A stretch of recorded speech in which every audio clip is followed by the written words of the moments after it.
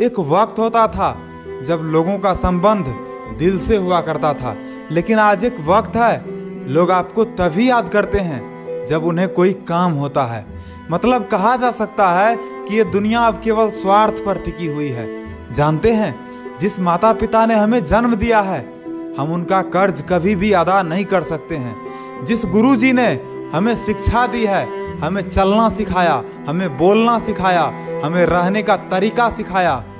हम कभी भी उनका कर्ज अदा नहीं कर सकते हैं। हमारे परिवार के सभी लोगों के बदौलत ही आज मैं कुछ बोल पा रहा हूँ, आज मैं आपको कुछ सुना पा रहा हूँ। और यदि आप भी कुछ कर पा रहे हो तो उसमें सबसे बड़ा योगदान आपके परिवार के लोगों का है। इस वीडियो के माध्यम से मैं बस आपको ये कहना चाहता हूँ कि आपके माता पिता आपके गुरुजन या फिर आपके परिवार के सदस्य, जिन्होंने भी आपके हित के लिए सोचा है, जिन्होंने भी आपके लिए अच्छा सोचा है, आपसे निवेदन है कि आप भी उनके भलाई के बारे में ज़रूर सोचें।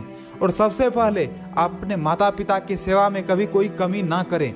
वो आपको जो आदेश करे, उनके आदेश का हर संभव पालन करने का प्रयास करें। प्रयास क्या करना है? उनके आदेश का पालन करना है। क्योंकि यदि आज आप कुछ भी हैं तो केवल अपने माता पिता के बदौलत हैं। और एक बात याद रखिए, आप हर किसी का कर्ज अदा कर दीजिएगा, लेकिन आपके पास वो साहस नहीं है, वो क्षमता नहीं है कि आप अपने माता पिता का कर्ज अदा कर दो। समझ गए? इसीलिए माता पिता के लिए आप जितना करोगे, उतना कम पड़ेगा। इसीलिए करते रहो करते रहो करते रहो। जब तक माता पिता आपके समक्ष हैं, उनके सेवा में कभी भी कोई कमी मत रखो। समझ गए ना? तो इस वीडियो में आज मैं बस इतना ही कहना चाहता हूँ। और यदि आपको ये वीडियो पसंद आया हो तो लाइक करें कमेंट में बताएँ और साथ ही साथ उन लोगों को भी भेजें, जिन्हें अपने माता पिता से जरा भी प्रेम नहीं है।